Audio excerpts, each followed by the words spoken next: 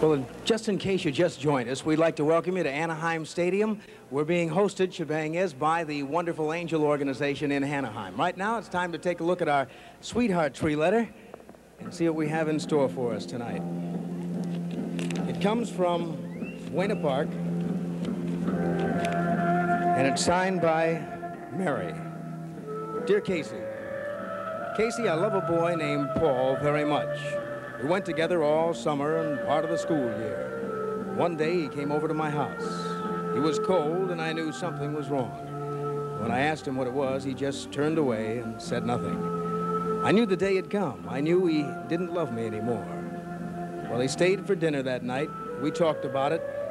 And he said he had talked to Donna, the girl he went with before me, and he wanted to go back with her. Well, Casey, I wanted to die. My heart felt like it was going to stop beating. I said I didn't want to keep him if he wanted to go back to her. Well, Casey, I still love him. Love him very much, and I think I always will.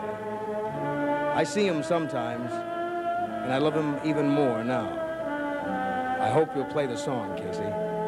Love always, Mary.